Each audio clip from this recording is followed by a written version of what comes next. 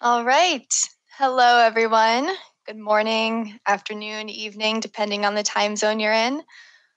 Welcome to CPPCon 2020. Um, before I get started, just want to say feel free to visit our table at the expo hall to meet the rest of the Microsoft C++ team. Um, at the uh, table, you can ask us any questions and we can discuss the latest announcement, announcements. Uh, we have some exciting announcements this week. Also, uh, please take our survey. And if you take our survey, you are entered in a raffle and have the chance to win one of five copies of Microsoft Flight Simulator. So we'll be giving out a copy each day that the conference is running.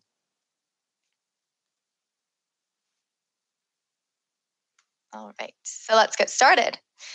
My name is Julia. I'm a program manager on the Visual C++ team at Microsoft, and I'm really excited to talk about collaborative C++ development with Visual Studio Code today. Collaborative development has always been a real important scenario, whether you're working with a partner on a school project, contributing to the same code base as a coworker, or contributing to an open source project. But in today's remote world, pair programming has a whole new meaning. You can't just pull a chair up next to your coworker's desk and watch them reproduce an issue on their own machine right in front of you. Now, more than ever, collaborative development relies on being able to easily reproduce issues from one machine to another, making the common problem that your development environment is different from someone else's development environment especially critical. So, reproducing issues from one machine to another can be pretty tough uh, for a number of reasons. To name a few, you could be using different platforms, which involves different operating systems and architectures. You could be using different compilers and debuggers, different build systems, different system libraries and package managers, and some projects have platform specific dependencies. So, I'm going to give you three recommendations today to navigate these problems and make remote collaborative development a little bit easier. So, the first recommendation is to set your project up for cross platform development from the start. The second recommendation is remote development containers, which will ensure a consistent development environment from one person to the next and eliminate all the time you spend um, configuring your project for a specific platform. The third recommendation is to use LiveShare, which enables remote pair programming. All right, let's dive into these. So, the first recommendation is to set your project up for cross platform success from the start. It'll be easier for someone to reproduce your issue and build your project on their machine if you set it up so that it works across platforms from the get go. There are a few tools that we recommend for cross platform development. The first that I'll talk about is CMake.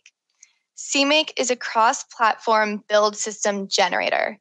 What do I mean by build system generator? A build system generator has platform and compiler independent configuration files, and then it invokes your platform's native build tool under the hood. So you could have the same configuration file across Linux, Mac, and Windows. And then, depending on the platform you're using, CMake will invoke Ninja or Makefile under the hood. CMake is open source and there's a great community around it. And because of its cross platform functionality, it's a super popular choice for open source projects. The next tool I'll talk about is vcpkg. VC Package is a cross platform command line package manager for C++. So we recommend using a language package manager like vcpkg as opposed to a system package manager like Brew or apt install. This way, you can set your project up to automatically install dependencies using vcpkg and it'll do that across platforms. You don't need to use a different mechanism to install dependencies depending on what machine you're using. There are over 1,300 libraries in the vcpkg catalog across Windows, Linux, and Mac, and they are all routinely tested against each other to ensure a high quality compatible catalog. You can integrate vcpkg with CMake so that CMake can find the libraries that you've installed on your machine using vcpkg. And if you add a vcpkg manifest file to your project repository that lists its dependencies, CMake and vcpkg will work together to automatically install those dependencies when you configure your project for the first time. You don't need to install those dependencies beforehand. All you need to do is have vcpkg installed on your machine. Both CMake and vcpkg have great integration with Visual Studio Code, um, which is what I'm going to demo for you today. Uh, for those of you who don't know, VS Code is a free cross platform editor and it's built on open source. It's customizable from lightweight editor if you want to just open it for quick edits um, to a full IDE like experience with build, debug, and remote development support. Okay, let's do the first demo, which will be using CMake tools, which is a CMake extension in VS Code and vcpkg. And I will be uh, configuring, building, and debugging OpenRCT2, which is an open source uh, CMake project. I'll do it on my Mac laptop, and then I will quickly SSH into my Linux VM and show you how we can configure and build the same project using vcpkg, using CMake, um, just do it the same exact way on my Linux VM. A couple of things that I did before this demo are install Visual Studio Code, which you can do by following the link on the slide. Install a C++ compiler. So GCC, Clang, and MSVC are popular choices. Um, in the demo that I'm doing today, I'll be using Clang because I am building on my uh, Mac OS laptop.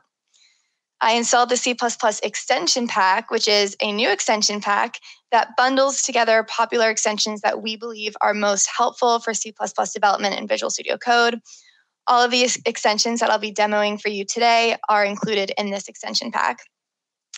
And lastly, I installed vcpkg. All right, so on my machine, I will navigate to my Open RCT2 project directory and open VS Code. And I ha- this is a CMake project, which means it has a CMake list script and it has a vcpkg.json manifest file. So let's go ahead and take a look at that vcpkg.json manifest file where I list out the vcpkg libraries that I want to install when I configure this project, such as jansson, SDL2, etc. So as I mentioned before this demo, I had installed vcpkg and run the command vcpkg integrate install. So let me just go ahead and show you what that looks like. Um, running that command, vcpkg will tell you what you need to set your CMake toolchain file path to be, such that CMake can find this instance of vcpkg and the libraries that installed. Uh, so there you see the CMake toolchain file path. And if you're just um, you know, building with CMake from the command line, you would pass this in as a command line argument. But if you're using CMake tools in VS Code, you just have to set this once in the settings.json file in the .vs code folder for your project. Um, so you can see here I've set CMake toolchain file path to be what uh, vcpkg uh, told me to set it to when I ran vcpkg integrate install. So now we have CMake tools set up to um, work with vcpkg to install these dependencies and use them when generating IntelliSense for our source files and to build our project. Um, so here's my CMake list script. So this is a script that tells CMake how to build the project. And with the CMake tools extension, you can either create a new CMake project from scratch, turn an existing project into a CMake project, or configure an existing CMake project. Because this project already has a CMake list script in its root directory, we're ready to start configuring our project. So there are two things that you need to do to configure your project. And also you can you can interact with CMake tools from the status bar with these commands in the blue bar at the bottom or from the command palette. If you type CMake, all of the commands provided by the CMake tools extension will appear in this dropdown. Um, so there are two things you need to do to configure your project. The first is select a kit, which contains the project agnostic, configuration agnostic build instructions for your program, like the compiler you're using. And that list of compilers was compilers found on my computer from the CMake Tools extension. So the selected kit appears in the status bar, and you can click that button to switch the kit if you'd like. You don't need to open it from the command palette. So the second thing you need to do is select a build variant. By default, the CMake Tools extension provides four build variants, each corresponding to a different build type. Um, so the one that we're going to use today is debug. So once we select the variant, after we've selected the kit, the project will automatically start configuring. There we go. We've had a successful configure and our build files have been written to our build folder. And you can see in the output that it ran this command running vcpkg install. So that means that it picked up the vcpkg manifest file in the root directory and checked to make sure those were installed. And if they weren't installed, then it would have gone ahead and reinstalled those for us. All right, so now we can select our build target. By default, the CMake Tools extension will build all targets, which is what we're going to do today. Then we can click build. All right, so we have a successful build. So we've used vcpkg and CMake to configure and build this project in VS Code. So now let's select a target to debug. We'll select Open RCT2.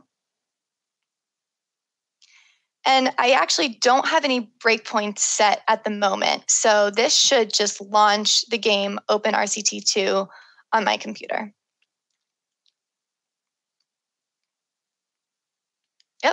And there it is. So we've successfully built and run the game. We can go in and select a park and play the game a bit. Um, but the reason I recommended using vcpkg and CMake is because of their cross platform capabilities. So now I want to go ahead and show you how we can um, connect to a Linux VM and do the same thing like using vcpkg, using CMake, and build and debug the same project on the Linux VM. So if you open the Remote Explorer and then select SSH targets, you'll see these are targets that I've previously connected to using the remote SSH extension in Visual Studio Code. You can add a new target by clicking the plus sign. I'm going to connect to the last one in the list because that's where my open RCT, RCT2 project files live. So it's worth calling out that how the remote SSH extension works is that all of these source files actually live on my Linux VM. Um, they are unrelated to files that I have installed on my local machine. So we'll open my project folder on my Linux VM.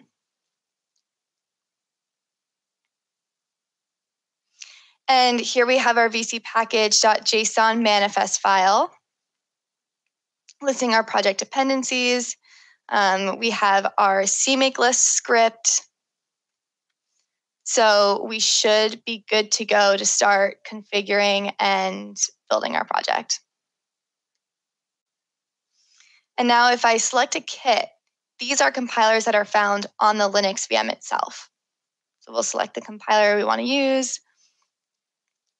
Then we can select our variant. We'll do debug again.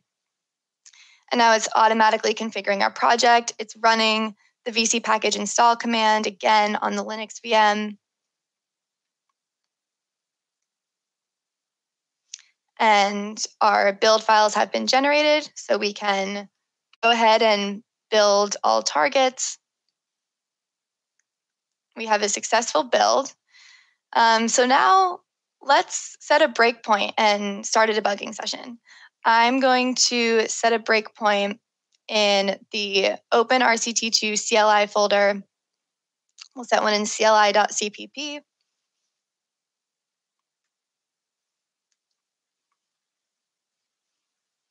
Cool.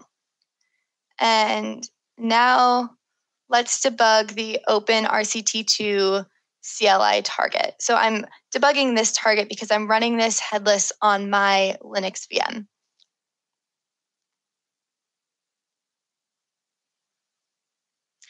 And now CMake Tools is launching the debugger in VS Code.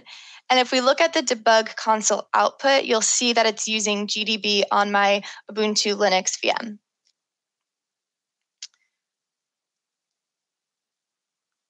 So you can step through the program just as you would on Mac OS. And you basically, the remote SSH extension allows you to have the full feature set of VS Code, including the debugger, um, on your remote Linux, which is really cool.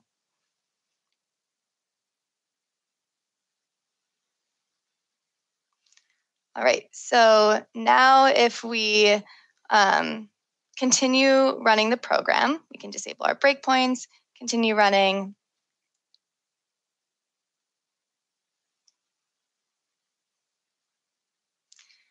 And we can open terminal to make sure that the open RCT2 CLI program is running, which it is.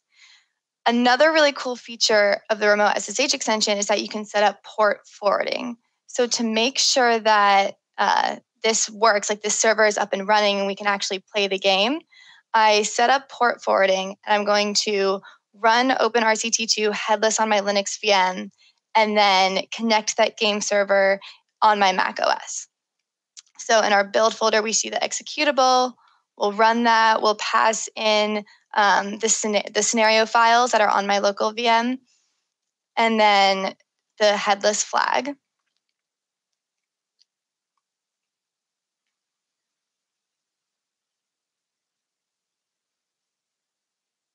And you can see it says ready for clients. So now if I go to my Mac laptop again or my Mac window of VS Code and we can run the target that we've already built, the OpenRCT2 target, and this should launch the game as it did before.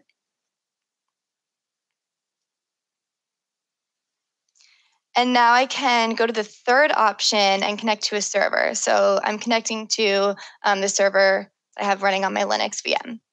And there you have it. So um, the point of connecting to this from the Mac is just to show you that you can successfully build this project on Linux um, the same way you would on Mac OS without you know changing anything about the configuration. You're using the manifest file, you're using CMake, um, you're using VS Code, and if you set your project up with CMake and vcpkg from the start, um, it's just it's very easy for people to develop to that like for that project on their machine. Uh, VS Code has CMake and vcpkg integration, creating an intuitive user experience for configuring, building, and debugging your C++ projects. Okay, so that was the first recommendation, which was setting up your project for cross platform development. Now let's go into the second recommendation, which is using remote development containers. So for the first project, you still had to do some kind of configuration, right? You had to um, install a vcpkg or have CMake installed on your machine. But what if I told you that if you add just two files to your project repository, that it could be run from any machine, regardless of the build tools or dependencies that are installed on that machine? So that's when a remote container comes in. So, what is a development container? Remote development container is a piece of software that packages code and any dependencies that code needs to run, uh, like runtime, operating system, tools, etc. Um, and it packages all of that and runs your code, and it's completely separate from your host machine. So if you have like a version of a package installed in your container, um, it is unique to that container. Um, a container is made from an image, and you use a Docker file to describe the contents of this image, such as the operating system, um, any build tools that you want to have installed. And then once that image is run, it becomes a container. So dev containers are especially helpful for instructors and students, let's say, um, because if you're an instructor and you have your starter code, you can add some dev container configuration files to this project repo on GitHub. Share that with your students, and then they can clone that GitHub repo inside of a dev container. So it just sets up, let's say, like Ubuntu with CMake installed, Ninja installed, GDB installed, etc. And then it will like your students can just run the program inside of that container regardless of the machine that they're using. And especially in today's remote world you can't control what machines everyone has access to. So containers are a great option to create that consistent functional development environment uh, for everyone regardless of what resources they have at home. So in this demo, I'm going to create and share a container for C++ development in Visual Studio Code. I'm just going to use a sample Fibonacci program for this portion of the demo. Um, so I'm, this is just a personal GitHub repo that I've cloned onto my Mac laptop. So I've set this project up to use vcpkg and CMake and use that vcpkg manifest file. I've also added some Doxygen comments, um, which you can see the C++ extension displays those comments. You'll notice that there are error squiggles underneath the include paths. Um, this is because I'm using the manifest file to install those dependencies and I have not yet configured my project. So the vcpkg install command has not been run. But once I successfully configure my project, these dependencies listed in the JSON file will be installed and those error squiggles should go away.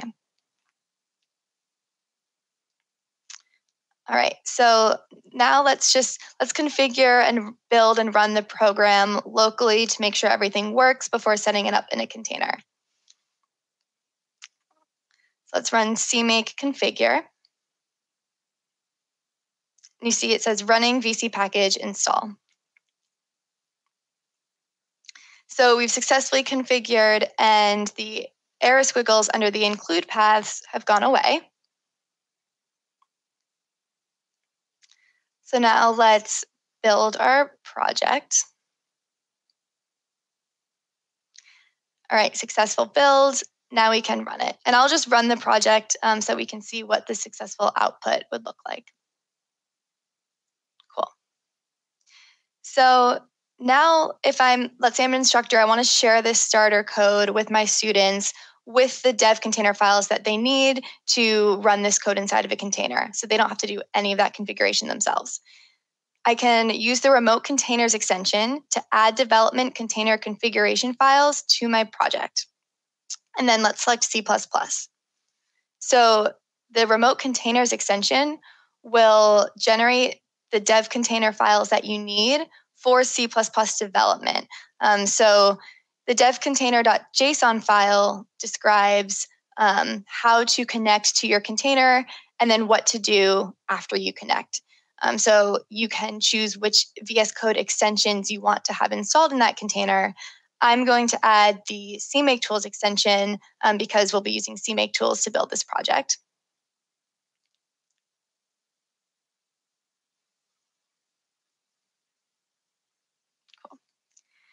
And now the Docker file, um, that describes what goes into this image. And the remote containers extension has provided a sample Docker file uh, that installs useful things for C++ development because we had selected C++ development language. Um, but I'm going to customize this Docker file so that it installs all of the dependencies that we need for our project. And when I say dependencies for our project, I don't mean project specific um, libraries, for example. I mean, we are installing some build tools like CMake, Ninja, uh, GDB in that first run statement. And then in the second run statement, we're installing vcpkg because we're going to use vcpkg to install project specific dependencies. This way, if project dependencies change, the project changes, you don't actually need to update the Docker file um, as long as vcpkg is installed in the container. Um, installing vcpkg is simple, three steps, clone the GitHub repo, run the bootstrapper, and then run vcpkg, integrate, install, uh, so that you know what to set the CMake toolchain file path to. So now that we have our container files, let's open this project inside of a C++ development container. And we can do so by opening the command palette and then using the remote containers extension um, to open folder in container.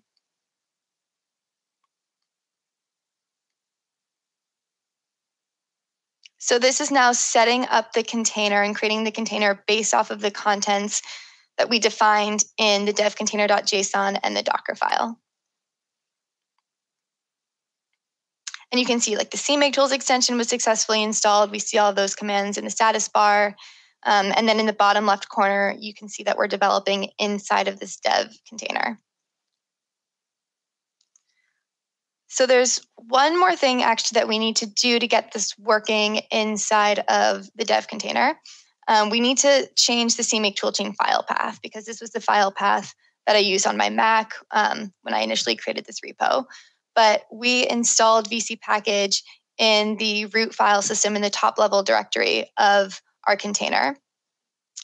So we know what the toolchain file path will be. And we can confirm this um, by looking for vcpkg on this in the dev container. And yep, there it is in the uh, top level directory. All right, so at this point, we should be good to start configuring and building our project and make sure it runs successfully in this container. We'll remove our build folder so we can do a clean configure.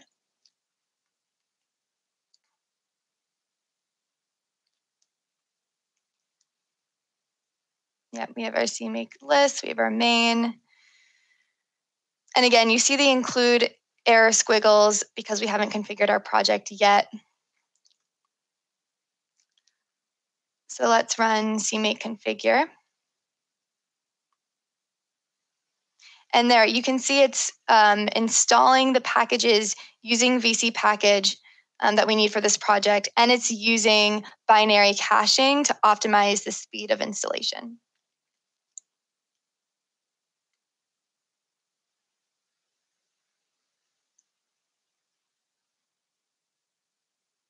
Cool. So we've configured our project, build files have been generated. Um, so now we can build our project. Successful build, let's run it. All right, cool. So now I have this program and dev container files so that people can run this program inside the container. Oh, it's also worth pointing out that the kits that we scan for um, are the kits that are found inside of that dev container based off of um, the contents of the Docker file.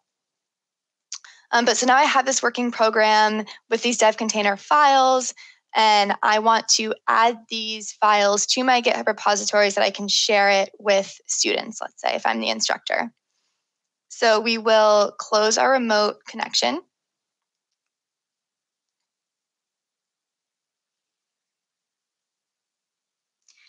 And now I'm going to open this file again on my Mac and I'm going to submit a pull request to GitHub from VS Code with these new dev container files.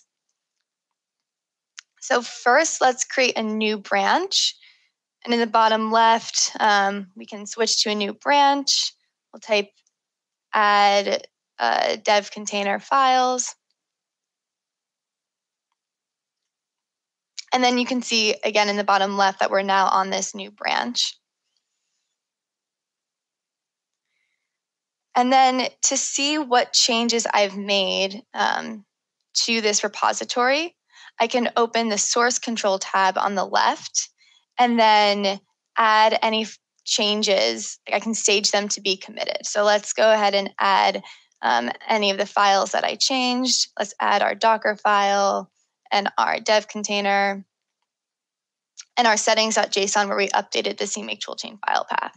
You can see my um, change log is cluttered with changes to my build folder. You can prevent that by adding a git ignore file. Um, so let's add a message now to stage these changes, to commit these changes. And then by clicking that check mark, you've committed them.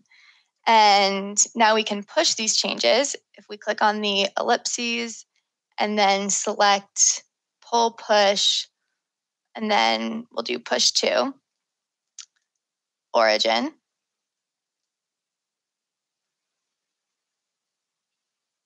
All right, so we've now, we've pushed these changes and now I can use the GitHub pull request and issues extension to create a pull request and merge these changes into master. So we click the plus sign, we select the branch um, that we want to uh, merge these changes into. And then select commit, and it's creating the pull request. All right, so it opens the pull request inside of VS Code, and you can interact with this pull request directly inside of VS Code the same way you would um, in the web browser on GitHub. And we see um, a list of pull requests. We see the ones that are created by me. Um, you can actually change the pull requests that show up here by editing the queries yourself in your in the settings. And then you can look at the side-by-side comparison of the changes you've made for each file in this pull request. Um, you can also look at the specific commits within a pull request down in the bottom. So going back to reviewing this PR, you can do things like uh, leave a comment if you wanted to do that. You can add reviewers to this pull request. So if you click on that plus sign next to reviewers and then add the GitHub um, username of the person you want to add as a reviewer, you can add labels. And then you can merge the pull request. so I'm going to merge this pull request into master.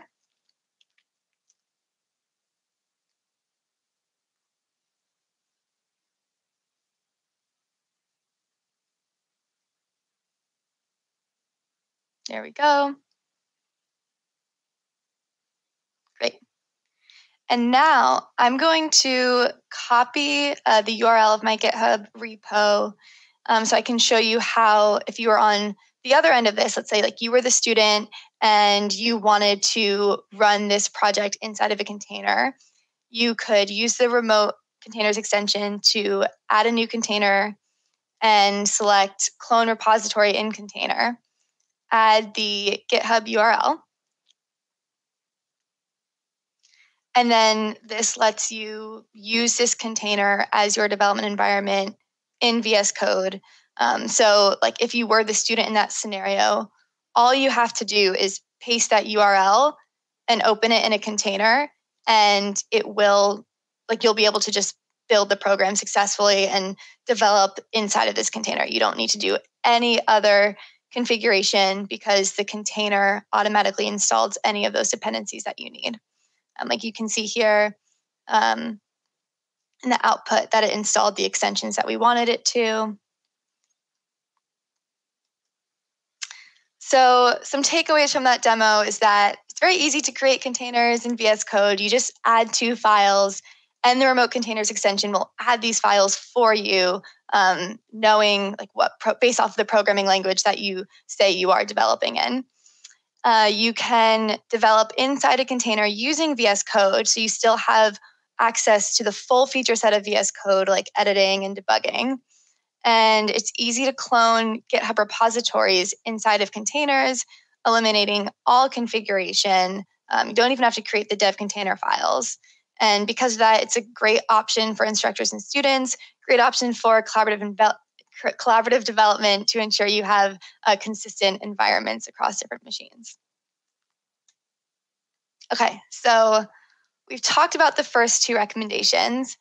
And at this point, you might be thinking, like, sure, I can set my project up for cross platform development using CMake and vcpkg, or I can add dev container configuration files to it and get it set up to run in a container. But what if I didn't do either of those two things? I have a problem. I need help ASAP. I don't have time to make my project uh, configurable on someone else's machine and help someone reproduce my issue on their machine. That's where live share comes in.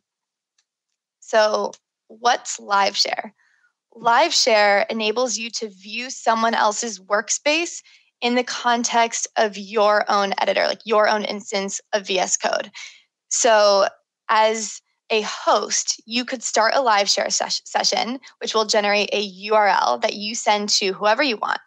And then anyone can join your session using that URL and see everything that you're seeing in VS Code. They can see that in their instance of VS Code as well. And not only can they see it, they can interact with it. They can navigate through your code base, um, use editing features, code navigation features like find all references, go to definition. Um, you can even do a collaborative debugging session. And the guest doesn't even need to have the source code on their computer at all. They don't need to have the compiler, the debugger. Um, they are able to co edit and co debug with you without having anything related to that project installed on their machine. So in this demo, I will start a live share collaboration session on my Windows laptop and then join it from my Mac laptop. And we'll do some editing, a collaborative debugging session. And uh, for this demo, I'll be using SuperTux, which is another open source uh, CMake project. Okay, so this screen right here, this is my Windows laptop. And if I open the live share pane on the left, that arrow icon, and select Start Collaboration Session, this generates a URL and automatically copies it to my clipboard. So now if I send that URL out, um, anyone can join. So now this is my Mac laptop where I'm going to join this session. So I'll select join instead of start and then paste the URL that I was just sent here. And then it's starting to load SuperTux on the Mac laptop. So now we have a side by side view of what the host and what the guests are seeing. And so you can see uh, the other person's cursor. And to start, the guests will navigate with the host.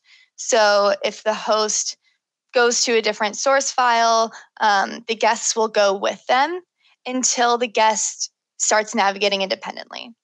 And so here you see if I'm highlighting something on my Windows computer, I can see that on my Mac. And then vice versa is true. If I highlight something from Mac, that shows up on Windows as well. So you can see how the other person is interacting with the code. Okay, so now I've navigated to another file as the guest on my Mac laptop. And at this point, um, the host and the guest are navigating independently. You can see on Windows, we've switched to a new file, and on Mac, they stayed where they are.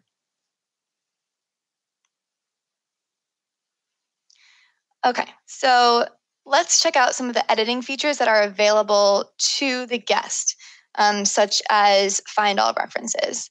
So if I want to find all references of this m state variable, I can select find all references. And when the C extension does a find all reference, it finds both confirmed and unconfirmed references for this variable. Um, so here we see all of the confirmed references.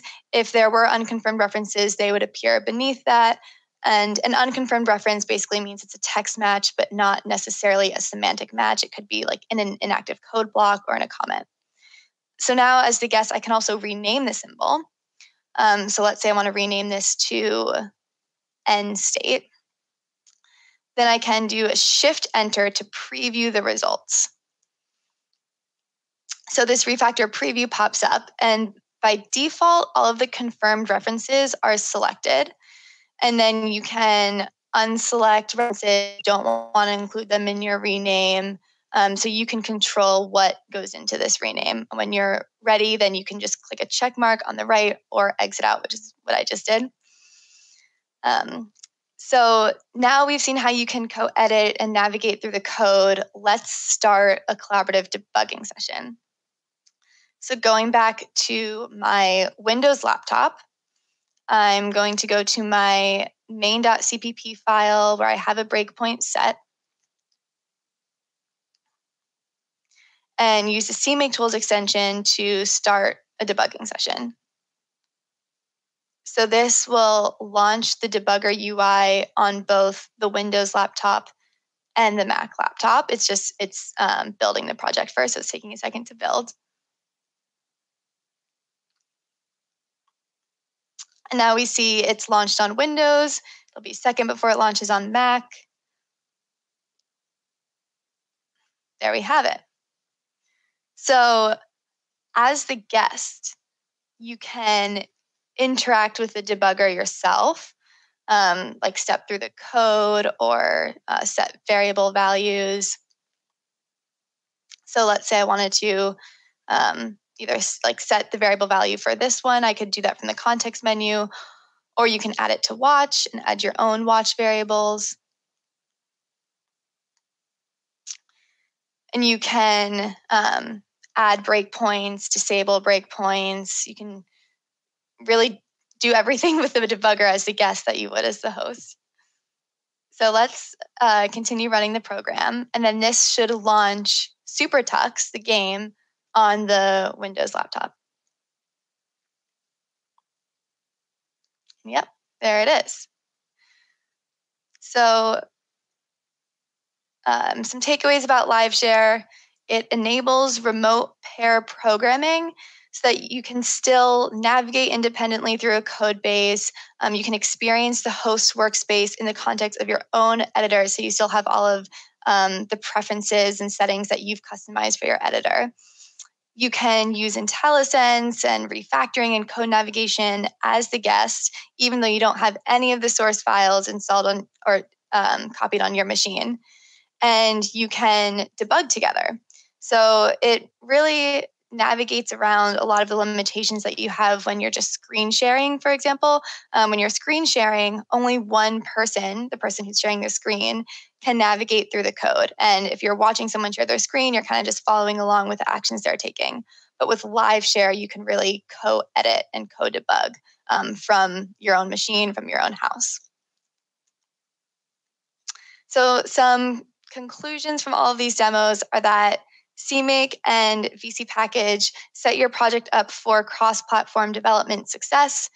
And dev containers, they eliminate the time spent setting up the environment so that people can quickly reproduce issues um, no matter what machine they're using. LiveShare is a great option for pair programming. And all of these extensions that I demoed for you today are included in the new C++ extension pack. Um, so check that out if you want to play around with the extensions that I demoed today. And now to get into some exciting announcements. C++ in Visual Studio Code has reached version 1.0 today. Um, during the time that you've been watching this talk, version 1.0 has been released. Uh, what does version 1.0 mean? Basically, the extension has been in preview for four years, and throughout these four years, we've worked with customers, and our customers have helped shape the direction of C++ development in Visual Studio Code by reporting bugs, reporting feature asks. And now that we have version 1.0, um, 1.0 delivers the top feature asks in high quality. Um, so if you haven't tried the C++ extension in a while, now's the time to give it another shot. Um, and while we're really excited about 1.0, it doesn't stop there. We're even more excited about what the future of C++ development and Visual Studio Code will bring. Some brand new features in 1.0 are support for Linux on ARM and ARM64. So you now have a first class um, development experience for ARM and ARM64 in VS Code, complete with editing, um, IntelliSense, and remote build and debug. Uh, so you can develop for Raspberry Pi um, your C++ applications for Raspberry Pi from Visual Studio Code. Um, another new feature in 1.0 is Visual C++ code formatting, which basically means all of the C++ code formatting features that are available today in Visual Studio are now supported in VS Code. And what's more is that VS Code has built in editor config support for all of these new settings. Um, so you can use an editor config file between VS and VS Code. Um, it just allows for more customization with your code formatting. And then the third new thing that I have talked about throughout the demos today is the C++ extension pack. Check it out using that aka.ms link on the slide. Um, it just contains a bunch of popular extensions that we believe will optimize your C++ development experience in Visual Studio Code. So uh, give it a try, install the C++ extension pack. You can also check out our new Configure C++ IntelliSense and VS Code video tutorial. We know that configuring IntelliSense has not always been easy, so we've created this uh, like three minute video tutorial to help you out. Um, we also have Hello World build and debug tutorials for different compilers and platforms on our docs. Um, you can use that aka.ms slash cpp hello world link to get there. Um, so try it out. Let us know what you think. If you run into any issues or have any suggestions, please report them on our GitHub repository. Um, we're happy to um, work with you and help shape the future of C++ development in VS Code. Some other announcements that we have and some things to look forward to are uh, vcpkg UI will be shipping in VS Code. So you'll be able to um, manage your libraries, your vcpkg libraries from the editor, from VS Code itself, rather than just from the command line. Um, and we have a Makefile tools extension coming, which will be very similar in nature to the CMake Tools extension, um, where you can configure, build, and debug uh, Makefile projects in Visual Studio Code. So I'm going to give you a sneak peek of what the vcpkg UI in VS Code will look like. Um, this demo was recorded by one of our developers, Daniel Shaw, on the vcpkg team.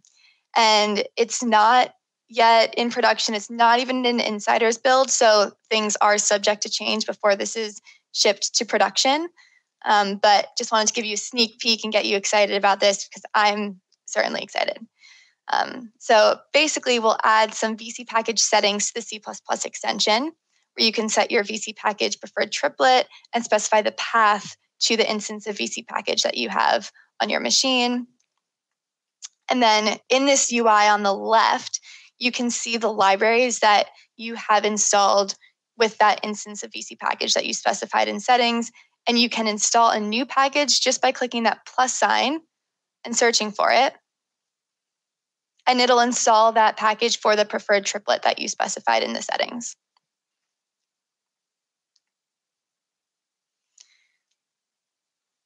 So now if we refresh this view, we should see the FMT uh, formatting library installed.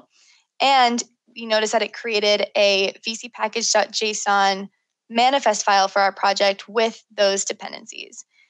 Now, if you remove a dependency and then refresh the view, you can see um, specifically like which dependencies are installed and in the manifest file. So that's why FMT has that little check mark next to it. And now um, let's include this library in our main.cpp program and uh, use one of the functions from this library.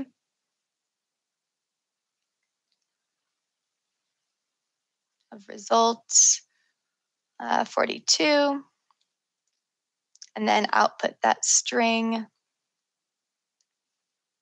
Okay. So now we can uh, build and run this program in VS Code. And we will use a build task. So this is not a CMake project. We're not using the CMake tools extension. We're using VS Code uh, build tasks, which is, the, which is a task.json file. And this new command that was just selected is vcpkg setup task.json, which adds the include and um, linker flags that you need to be passed on the command line for vcpkg integration. So it'll automatically do that for you. And then we'll run the build task. Everything seems to be working. You can see the executables that were created um, appear in the project view on the left. And now we can start a debugging session.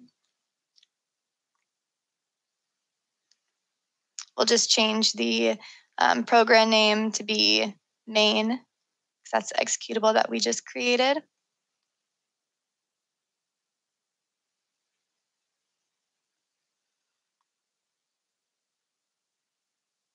And now we'll set a breakpoint, start debugging. So essentially, you'll be able to manage your vcpkg libraries and set up your build tasks um, so that it'll build using those vcpkg libraries automatically in Visual Studio Code. And um, one of the things that I showed you at the beginning of this demo is that um, we had to add the add the path to the vcpkg root in the settings. Down the road, um, we won't even have to do that. Uh, the C++ extension will be able to just find the vcpkg instance, um, but you could specify the root if you wanted to, if you wanted to use a different instance of vcpkg instead. So, thank you so much for listening to my talk. I hope you enjoy the rest of the conference. Um, once again, I'll say please visit our table at the expo hall to meet with the rest of the team, ask us any questions, discuss the latest announcements, like the V1 announcement for the C++ extension, um, and please take our survey if you want to be entered in a chance to win the Microsoft Flight Simulator. We have a bunch of other sessions throughout the week. Um, so We have a few tomorrow on Tuesday, Wednesday, um, and Friday. So, all throughout the week, you'll be able to attend sessions from the Visual C++ team. And looks like we have about 10 minutes left, so we can open up the floor to Q&A. Go over to Remo. All right, so I am opening up the Q&A. Take a look at some of these questions. Uh, so the first one I see has the most upvotes is how is the live share session encrypted?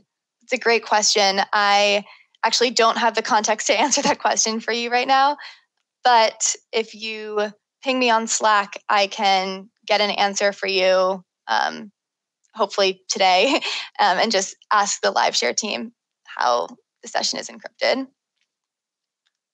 What other extensions in VS Code would you recommend for C++ developers? Uh, great question um, because we just put together this extension pack. Um, but one um, other extension that I'd recommend is the Doxygen documentation generator extension. So the C++ extension has support for displaying uh, the documentation if you have the Doxygen comments in your code. And the Doxygen documentation generator extension generates the stubs for those comments automatically. So that's a useful one. Um, we covered C++ extension and CMake tools extension today, GitHub pull requests and issues, the remote development extent or the remote development extension pack is really useful. That contains the SSH extension that I showed you today, the containers extension that I showed you today, uh, plus the WSL extension. Um, there's also remote code spaces, um, which is really cool. You should definitely check out the talk that uh, my colleague Nick will be giving on Wednesday about code spaces. And another extension um, I recommend is CMake extension. So what I showed you today is CMake tools, which has all of the configure, build, and debug support for CMake projects. The CMake extension has um, language support for CMake files themselves, um, which just makes it a little bit easier to read and edit those files.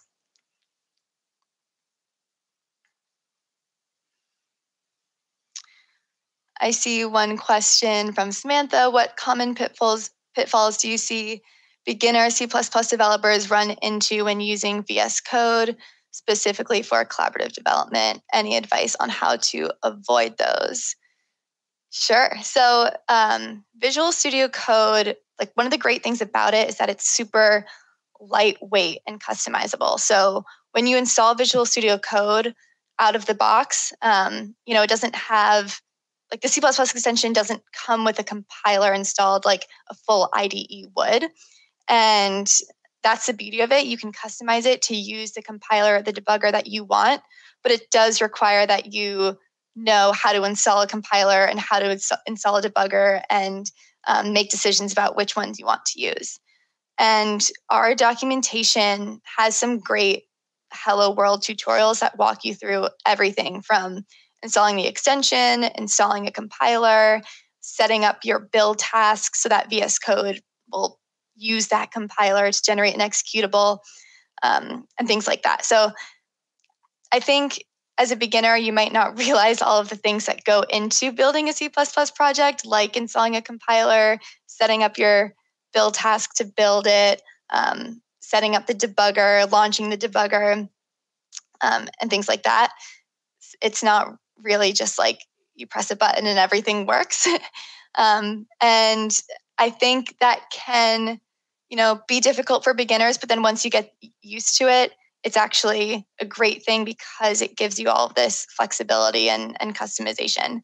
Um, but I I think avoiding those one suggestion would be to check out our docs.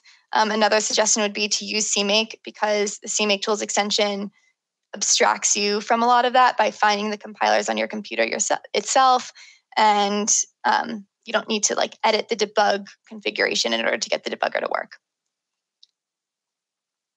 just reading some of the other questions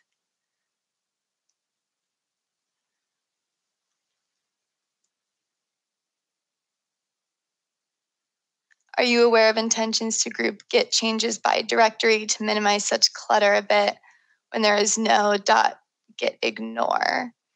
Um, so by directory, do you mean if you mean like subdirectories within the project? Um, that's a good question. I'm not sure if there are intentions, but that is definitely a good uh, feature request. So I, I don't work on that extension, but if you find that extension on GitHub and report an issue, then that would be a good way to track that feature request. Since we're talking about cross-platform development, what about automatically filling system include path in CPP properties.json? So that's a great question. Um, I didn't really go into CPP properties.json in the session today because we were using CMake tools, and the CMake tools extension actually um, provides IntelliSense. You can set your IntelliSense configuration provider to be CMake tools. But if you are using CPP properties to define IntelliSense configuration, um, you can like define multiple IntelliSense configuration for different platforms um, so that it makes it really easy to switch between those configurations when you are um, switching the platform you're developing for. And you can um, configure IntelliSense for cross compiling by changing the IntelliSense mode and the compiler path. Um, it gives the extension enough information to emulate like that target architecture and give you the right IntelliSense for that target architecture. Um, for include paths, as long as the compiler path property is automatically set, you should not need to change that setting at all unless your project um, needs to include header files that are not in your project directory or in the standard library header files for that compiler. Um, so it automatically does fill the include path with things that you need as long as the compiler path property is set.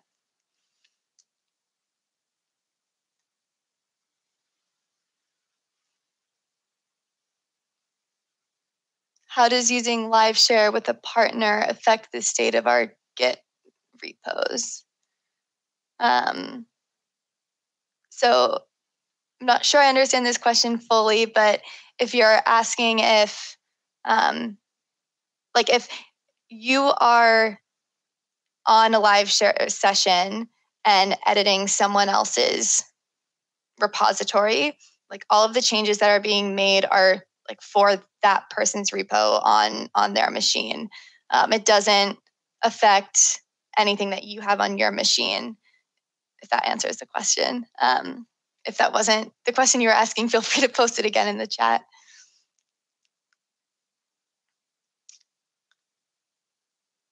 Is there a plan to support select and set default CMake target? Oh, so when you're selecting your CMake target, is there a way to set that as the default target that you want to build or debug? Um, that's a good question. I thought that the extension, like once you select that target, it'll just it'll use the most recently selected target.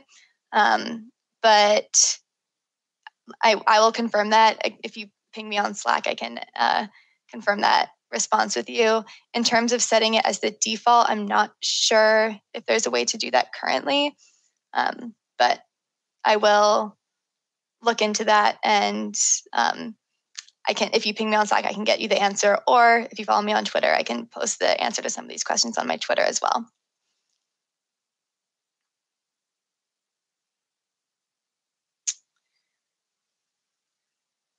So some of the other questions are about live share. And I, so I personally don't work on the live share extension. I don't have all of the answers for you. But what I can do is um, we can download these questions from the Q&A and then I can look into the answers to these questions and either post them on Twitter or if you ping me on Slack, I'll post them on Slack as well.